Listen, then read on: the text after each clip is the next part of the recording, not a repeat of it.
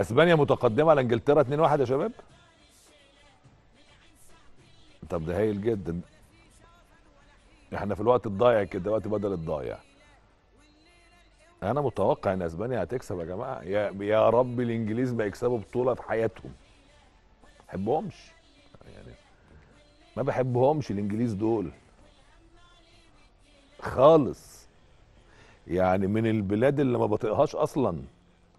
يعني البلاد اللي ضد بلدنا دي ما الإنجليز والأمريكان والكيان ال- المعروف. يعني بصراحة يعني. إيه، إحنا في الدقيقة كام؟ حاسب كام دقيقة؟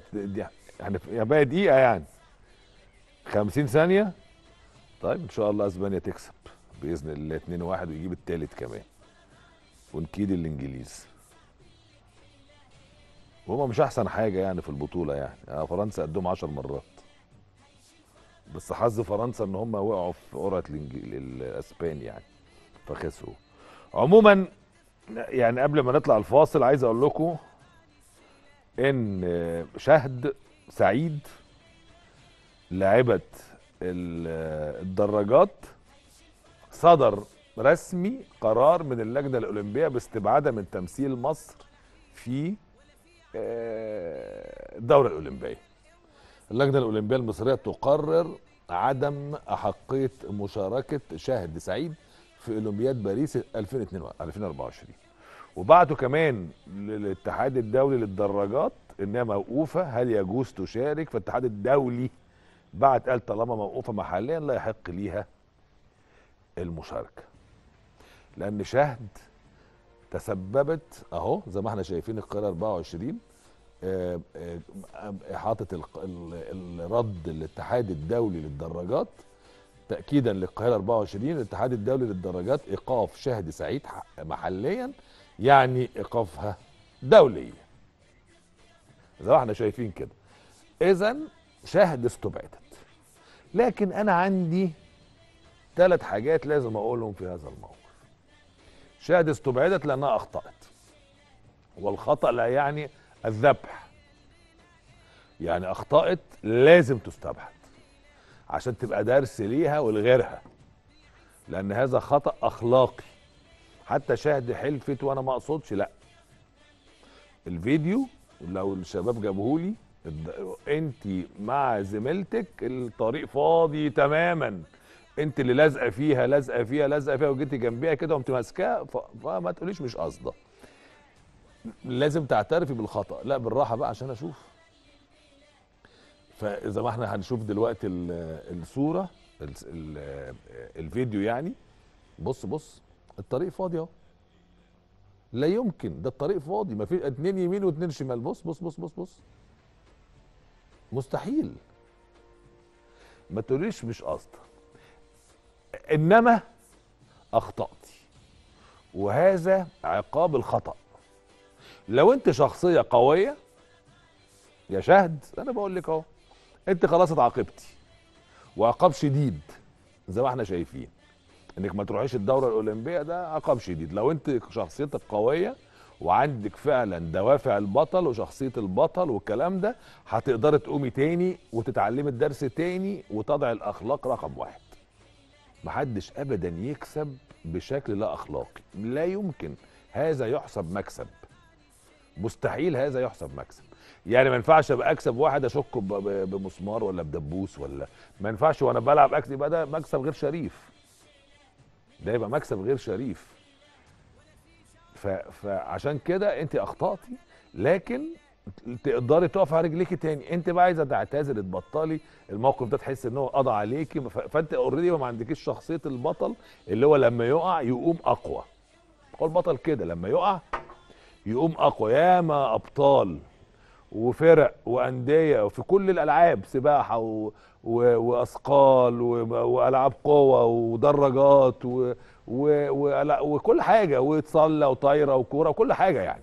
وبينج بونج وتنس وغطس وكل حاجة وسباحة وكله كله. يقع ويخسر وتاني دوره أولمبية تلاقيه بطل كبير. فلو أنت عندك النزعه دي يا بنتي كملي بتيأسي أنت اخطأتي أنت مش مظلومة. لكن الظلم إنك تتذبحي أنت أخطأتي وبتاخدي عقاب الخطأ.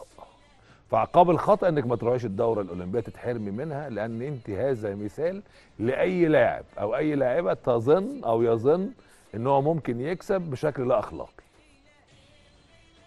فالإيذاء اللي حصل لجنة عليوة وعن قصد عقوبته أنت خدتيها لو أنت عندك بقى شخصية البطل تقومي وتنهضي تاني وتبقي بطل.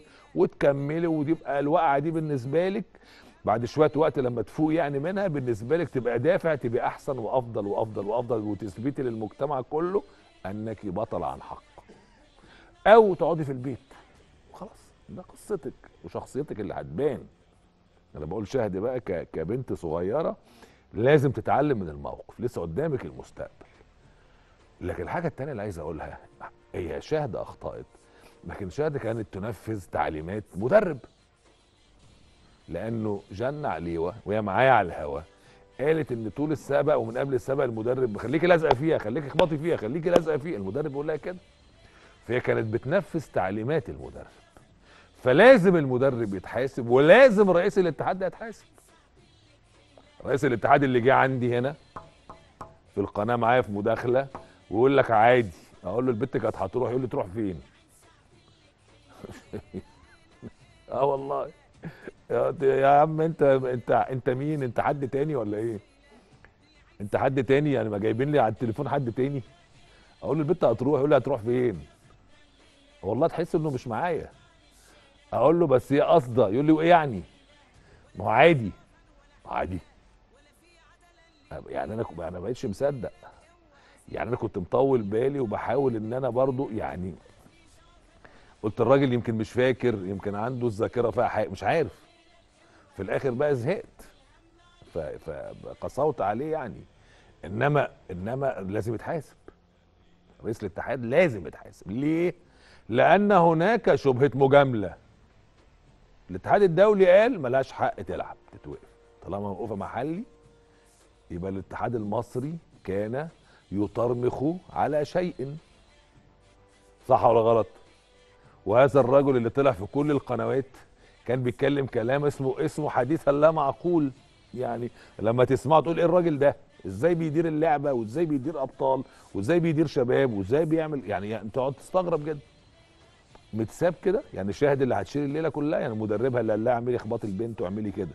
والراجل اللي هو رئيس الاتحاد اللي عادي أي حد يأذي حد عادي يحسسك إنه عادي. طب ده هتموتها؟ يقول لك وإيه يعني؟ ما, ما هو في ايذاء عن عمده وعن قصده وعن دون قصد. في كده إحنا عندنا في الدرجات عادي. يا ده الدرجات في المضمار في درجات في الشارع يعني اللي يزق واحد يوقعه ده ممكن يموته ده أسفلت. وبتبقى سرعته عالية جدا. يقول لك عادي. طب الناس دي مش هتتحاسب؟ أنا بسأل. سؤال كده في المطلق. الوزارة بقى اللجنه اللجنة الأولمبية. الجمعيه العمومية بتاعة اتحاد الدراجات ما أعرفش.